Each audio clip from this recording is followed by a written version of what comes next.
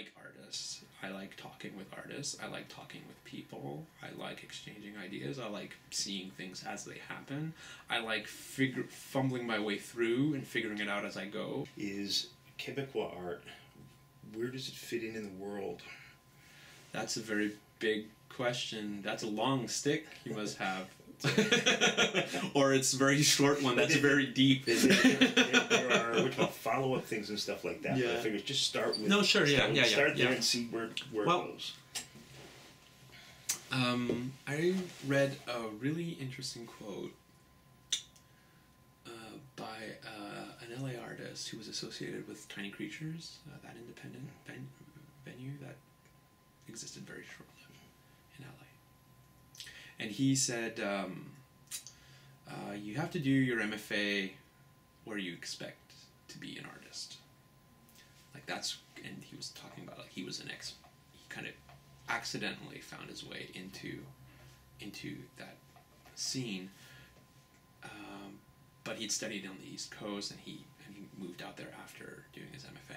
So um, so if you think about how Quebec art is, is decimated around the world, because that's really how you can.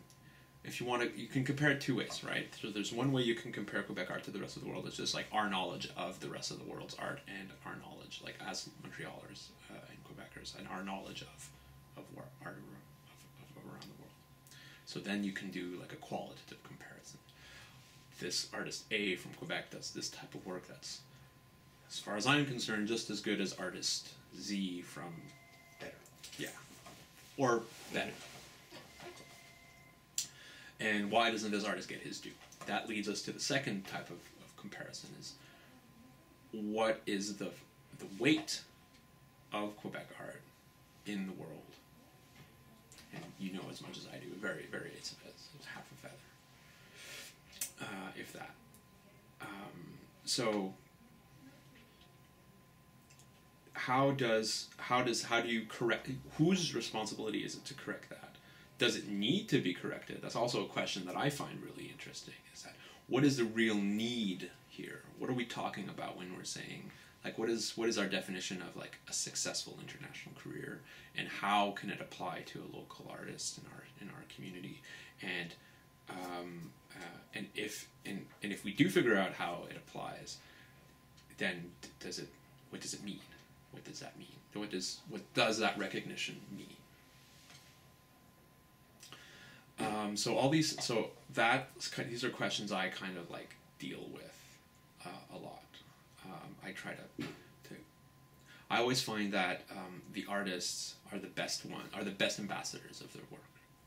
They're the best networkers they're the best salesmen they're the best promoters they're the best philosophers of their work they're the best everything of their work. Um, so that's on a strictly personal like experiential way of dealing with a community and their artists.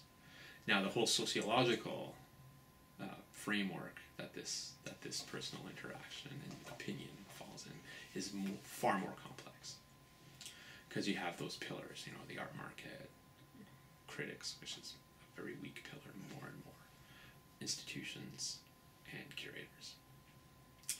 Uh, all of these pillars kind of and the, the, the, the network of peers artists communities around the world that interconnect through different types of uh, structures and institutions, DIY or other.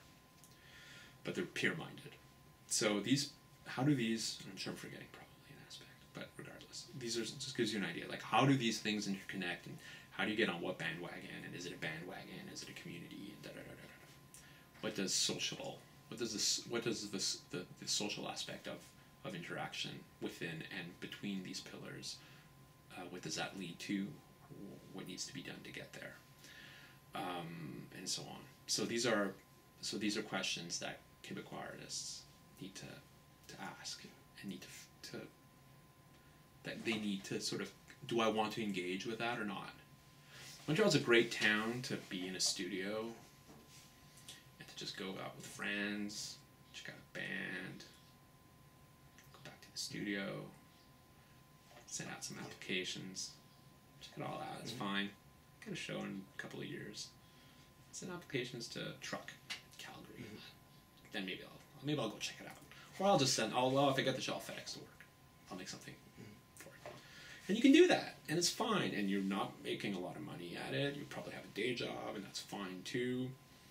And you're just doing your thing, and your work, and your practice is hopefully evolving, and it's being uh, hopefully challenged, and, and it's every time it's shown, and you're getting feedback. Not always the case. Actually, probably more often than not, it isn't the case. It's kind of pack up the stuff, goes back to the studio, and you go back to the studio.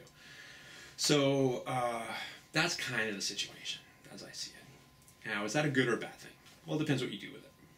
If you decide to say, I have this amazing opportunity to have a cheap studio, a relatively cheap studio, by New York standards, by Toronto standards, Calgary standards, Vancouver standards, Paris standards. Paris, Yugoslavia, maybe not. I, I, I, or, yeah. then you have to live in Yugoslavia. Yes, yes, Serbia and whatnot. Uh, but um, yeah, so the the how, how so you, we have this situation. So what is this opportunity? What is what what is this an op- is this an opportunity? Information travels so much. You can be up to date with an RSS feed of maybe what, ten websites, and you're really up to date. Like you'll know everything. You'll be You'll even know what people's faces look like. You'll know what power brokers, what they look like, what they wear, where they're hanging out. You'll gossip. You'll be you'll be plugged in. Whether or not, so you know, but you're not engaging. So, but were you to engage, you have the intel, but you're not. Or you choose to, you use that that this this thing as a sort of like this this this parallel universe that is your studio uh, in Montreal to gather information and intelligence to go out and maybe you move to New York eventually and you know who everybody is and you know what doors to knock onto and you have like-minded friends that are around that can introduce you to other people and so on and so forth. Uh, you create a community or you enter a community. It depends when you go at what point. And or you do that here. You decide, you know what, there's not much going on, let's just do something because I have the opportunity. I'm going to just open my studio and I'm going to hang out with friends and I'm going to show other friends and we'll see what happens and maybe we'll get a bit of attention and maybe people will come type of thing or maybe not so there's it's like a, a, a variety because there isn't that much pre- there isn't like a market pressure to uh, produce you can kind of produce at your own rhythm and you can there's a great liberty of being an artist in montreal now what do you do with it is a whole other thing like how do you take advantage of the granting system do you really have super moral quarrels about like oh, getting grants from the federal government is such a pain. I don't want to deal with it, and I'll never get it anyway. And I don't want to have to write grant writing style. They should just accept me for who I am. Like, what to what degree are you willing? You know, it comes down to like, what are you willing? What do you, what do you want? What are you willing to do to get it? That type of deal. And Montreal's a town where that question can be asked twenty four seven. Well, what do you want? Like you're complaining, but what, what do you really want? Like, um, and if that's the case, what are you willing to do to get that? And once you get it, what do you do? so I find it interesting that you sort of place the onus on the the artist. Ah, not just the artist, the community. It's got about it's got to be about the community, and I think like a lot of it has to do also, and the artists are the most important element of that community. This is uh, artists that make art. This is what they do. I like I can I can get really mad at rents going up and for studios, but I'm not going to be. I'm going to protest passively, but I think it's up to artists to like, you know, this is their livelihood, and they have to whip the community into shape to defend their interests. Okay, because now I always come at it from the, the side that yeah, it's the institutions that sort of are the sort of big brothers. Uh, Yeah. Which malt us? Which malt them? The, the not stakeholders. The giant mommy Yeah, the, the, nursing the, sort of, the, the, children. yes, mhm. Yes, And that's Yes. where I end. Is but then we have to put on our daddy hats crack the whip. No, um, but uh, yes, within our realm of effective action and what we do best. What we do best is put on good shows, put up, put together catalogs, and uh, uh, create like a, a sense of mediation between the broader public that comes here and the people that we're trying and the content that we're trying to communicate to them. So um, in that sense, but I and there's also a sense of effectiveness. How effective is the museum in doing things that we know artists do better? Um, I can't get uh, somebody into uh, uh, um, uh, a community that's not here that would facilitate their career. I don't know who those people are, and I don't, and I'm not an agent. Um, but uh, if it's a, if the work is makes it falls in the priorities of what the institution wants, you know that whole that whole uh, craziness that is an institutional programming direction whatever.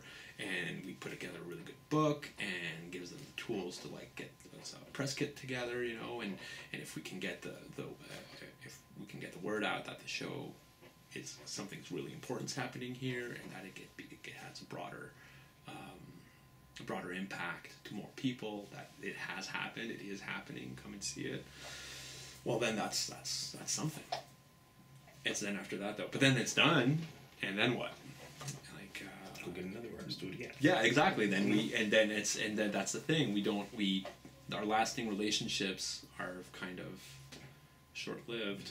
They're like three years at the most and then it's see you around but we do like you on a human level like keep stay in contact. I stay in contact with a lot of the artists that i worked with because i believe they're really privileged situations of, of exchange of ideas as well. but the, the but the institutional role within that is always i feel I feel it's it's it's it. I would be suspicious. I think don't you know. I think that. I think that artists are always the. I think artists are always the best placed, mm-hmm. really.